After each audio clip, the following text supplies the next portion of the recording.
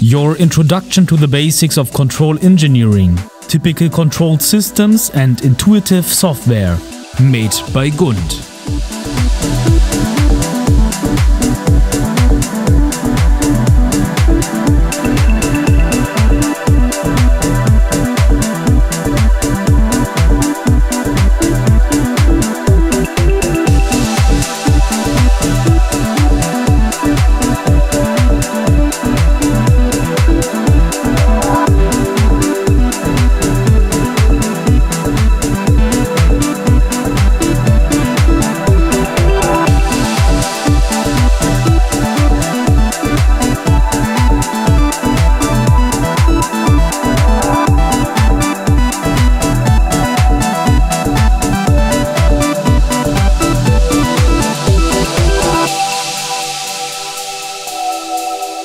Thank you.